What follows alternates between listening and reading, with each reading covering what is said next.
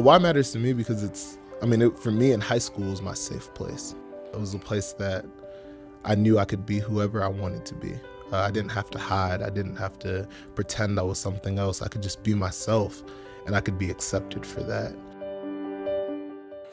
In high school, I, found a passion for leading other people, and I wasn't necessarily sure what I wanted to do.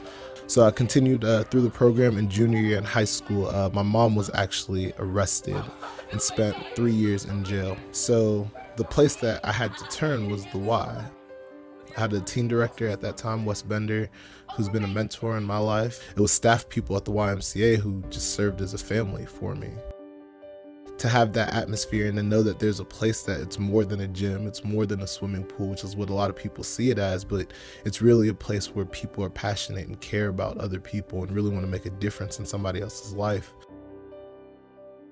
I mean, the teens here, they, they get a lot out of it personally just being able to be out in the community and understanding that it's a better feeling to give than it is to receive. The smiles that they have an opportunity to put on other people's faces, there's such intrinsic value there where they're feeling uh, so much better about the things that they're doing and so much more accomplished in life just because they can be a benefit to somebody else.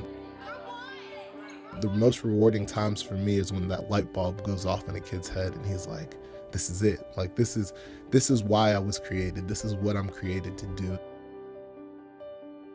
And those are the most exciting times and it's why I do what I do and it's why I enjoy it and it's why I probably will never do anything else. You know, I plan to retire from Y and just be here because there's there's not many other organizations that you can do that with.